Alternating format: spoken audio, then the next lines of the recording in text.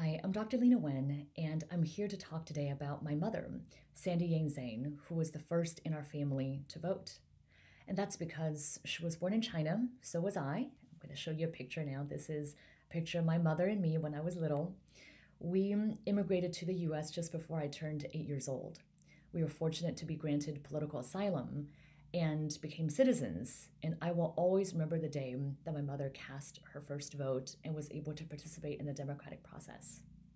My mother ended up becoming a second grade teacher in Los Angeles. Here she is, teaching school.